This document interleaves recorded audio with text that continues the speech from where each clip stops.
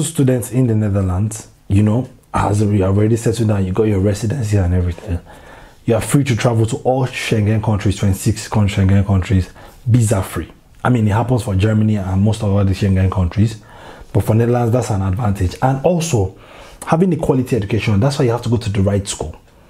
Having quality education in the right school can give you opportunities in the Netherlands and outside the Netherlands.